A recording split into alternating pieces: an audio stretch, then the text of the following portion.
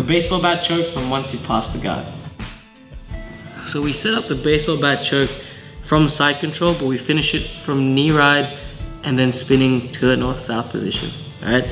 So I've got a cross face and an underhook here, all right? My left hand, instead of a deep cross face, I'm gonna put my thumb to the back of Liv's collar and I'm gonna punch my fist to the ground, all right?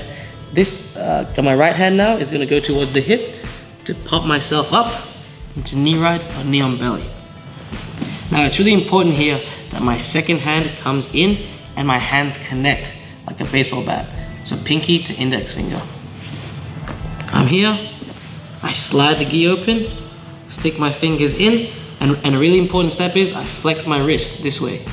All right, and my elbow comes down towards Liv's chest.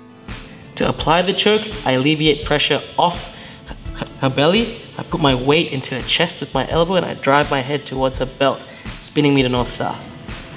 This, cut the elbow in, get the tap.